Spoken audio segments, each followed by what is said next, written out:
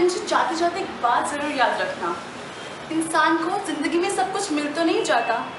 तमन्नाएँ तो बहुत है, लेकिन सब पूरी कहाँ होती हैं? फ़र्क सिर्फ़ इतना है कि कुछ लोग आँसू बहाकर जीते हैं और कुछ मेरे जैसे भी होते हैं, जो अपने दिल में दर्द छुपा कर जीते हैं। लेकिन ये आप नहीं समझोगे, क्योंकि आपकी बस की बात नहीं है। तो चलो как